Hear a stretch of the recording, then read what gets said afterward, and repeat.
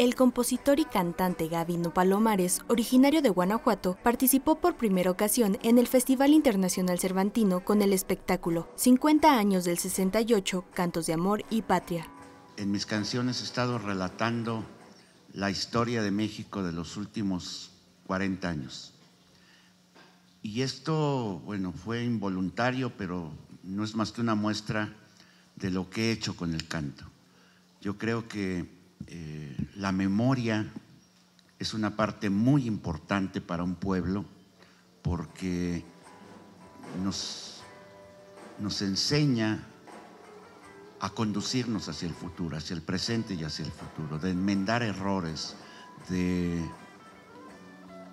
de tomar los ejemplos importantes de nuestros, de nuestros líderes políticos y sociales y también nuestros líderes eh, culturales.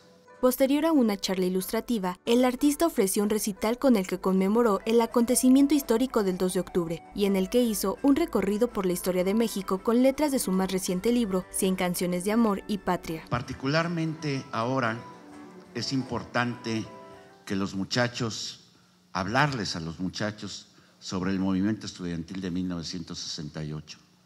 50 años medio siglo después de aquella infamia, que es lo que, lo que más se ha dado a conocer.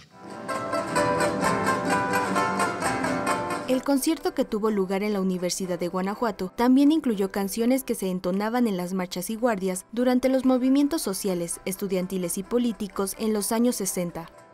Con información de Juan Carlos Castellanos, imágenes de Eric Gómez y edición de Carolín González enviados, Notimex.